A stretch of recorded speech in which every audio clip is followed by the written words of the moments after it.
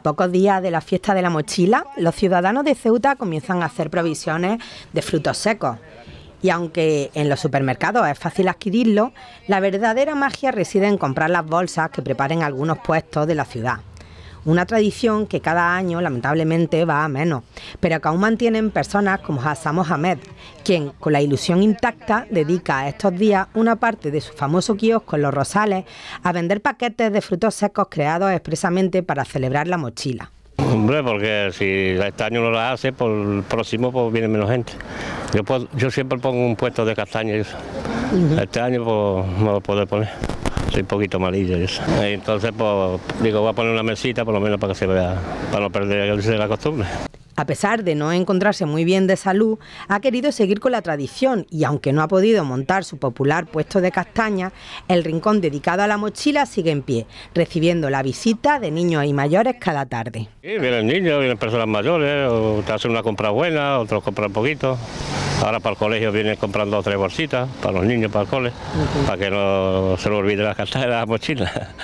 A 0,80 céntimos el paquete, la variedad es amplia. Pipa, almendras, nueces, al gusto del consumidor las prepara Hassan. Compramos la bolsita y hacemos más o menos el precio y dividimos un poquito de ganancia, un poquito de... y hacemos bolsitas de estas, sí, solamente. Tienen 70 gramos, 80 gramos, según el material. Las almendras son más caras pues, y estos son más baratos, pues llevan un poquito más.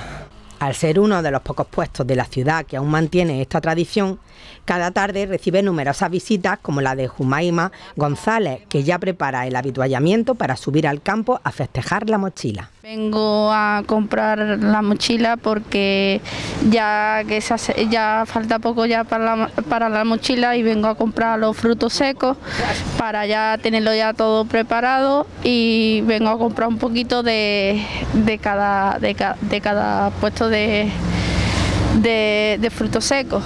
Y, y, hago la tradición tanto por mi, por mi familia, por mí, por, por todo el mundo, los que no puedan, pues hago yo la tradición.